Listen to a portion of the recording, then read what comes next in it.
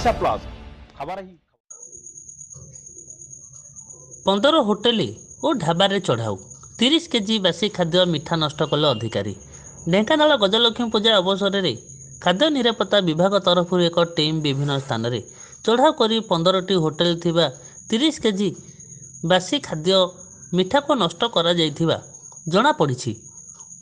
Team ତରଫରୁ Kantanali bypass Haripur କୋରିଆଁ bypass station ବଜାରରେ ଥିବା ହୋଟେଲ ଢାବା ଜଳଖିଆ ମିଠା ଦୋକାନ ଗୁଡ଼ିକରେ ଚଢ଼ାଉ କରାଯାଇଥିଲା। ଚଢ଼ାଉ ସମୟରେ ପୂଜା ବଜାର ଏବଂ ଜନସାଧାରଣଙ୍କର ଖାଦ୍ୟ ପାନୀୟକୁ ଦୃଷ୍ଟିରେ ରଖି ନିୟମିତ ଭାବରେ ବିଭାଗ ତରଫରୁ ଚଢ଼ାଉ କରାଯାଉଛି।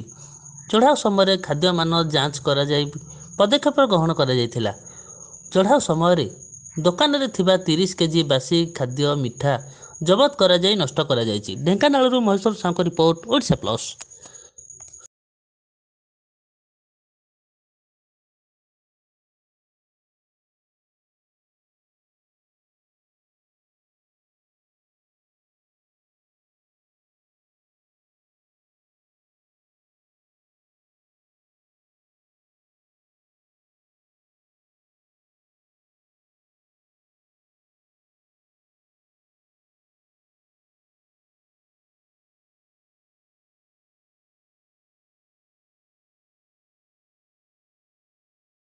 Trostel lubricants and grease भरोसे पर रखो विश्वास। ट्रस्टल देगा आपका साथ। ट्रस्टल का लुब्रिकेंट और ग्रीस वर्जन है ये। Trostel the original lubricants and grease